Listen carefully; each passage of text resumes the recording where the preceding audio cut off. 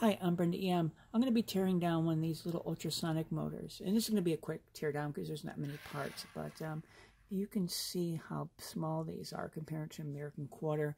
Or um, also I've got another motor here, which is a stepper motor. And uh, that's even smaller still. They tend to use these motors in cameras because they're quiet. Um, Theoretically, they could be made silent, but I think these are, you can see that there's actually gears on here, so whatever they hook it up to won't be silent, even though the motor can operate on ultrasonic frequencies. Looking at the outside of the motor, we have a shaft here, a little spring, a little brass tube that goes through the motor body.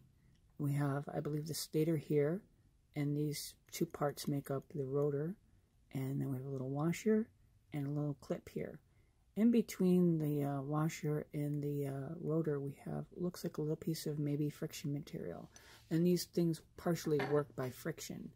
And if we take the motor and if we push on the end of the shaft, we can see that we can make this move like this. And, uh, and so it's interesting. It's a big magic trick. And uh, as you can see that uh, nothing is magnetic in here. These don't work by magnetism. So uh, let's uh, see if we can get this little clip off here. So to get the clip off, I tried a needle and there's not much space in here. So what I'm going to try doing is try forcing the clip off from this side, which seems to be working. If I could just make it come off a little bit, then I can get the corner of this or needle in here and just slide the clip off like so.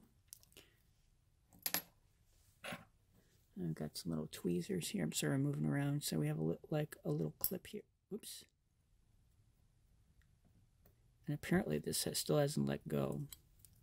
So I'm going to push this down a little bit and release the clip. There's a little little C clip. You could see how this thing is tiny. And then we have a little washer here. And this whole rotor assembly seems to come off in one piece. And um, I thought that this would slip here, but it doesn't. And you can see that this uh, this surface here seems um, lathe turned machined. And A little cup-like too. Now the shaft seems to want to come out. And there's got a little spring on it and a little gear. And you can see the little uh, the little slot for the clip one of the cool thing about these motors is this is a, a, set of roller bearings here. This is the usually the smallest set of roller bearings I've ever seen in any commercial device, and these are smaller than hard drive bearings. And uh, let's see if we can get encourage to come out here. Maybe we could just push through with the uh, with the with the um, with the scribe. One thing that's cool about um, taking apart old cameras is you get little bearings like this, and you can see how small this is compared to a quarter. So these are pretty small. This particular motor, motor was from a, a Nikon camera lens, and it's 6 millimeters by 2 millimeters thick.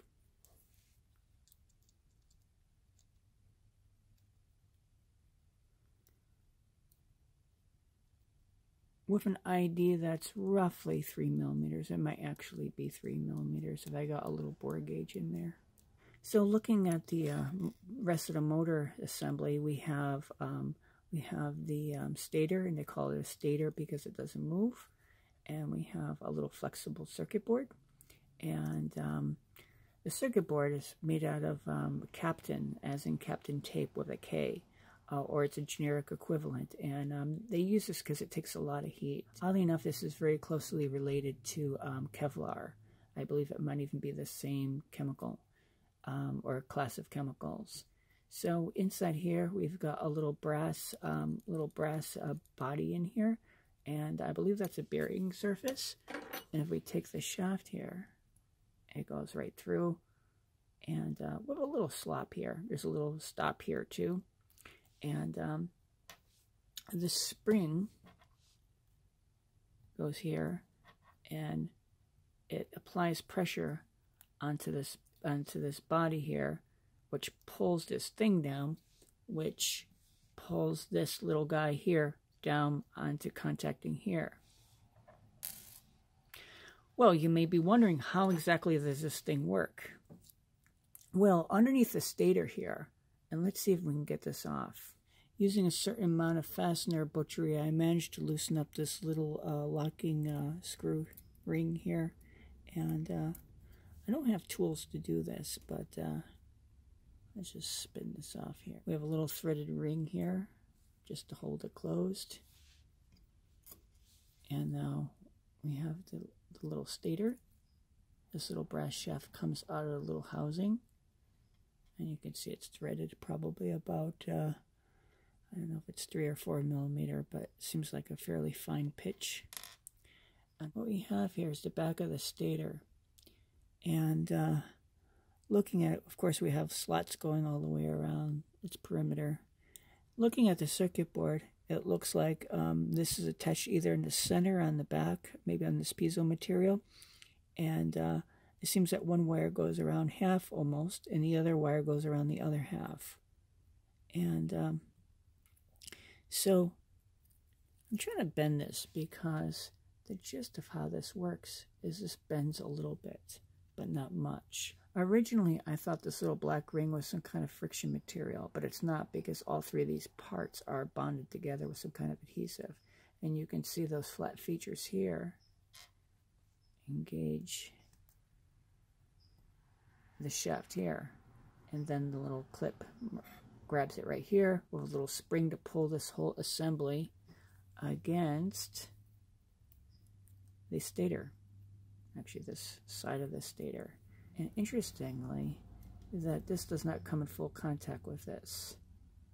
And you can see that there's a ring that's left a little mark, and it looks like it actually wears on the, uh, the kind of the center of the the center of this uh, ring right here.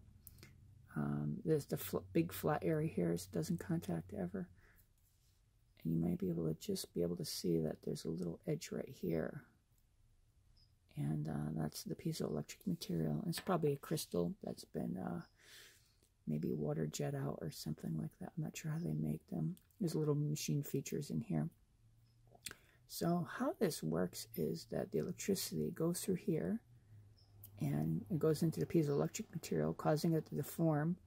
And this thing operates at maybe 40,000 hertz or something. It's ultrasonic, and they probably don't call ultrasonic for nothing. And I tried to get this going but with an Arduino, but it wasn't quite fast enough.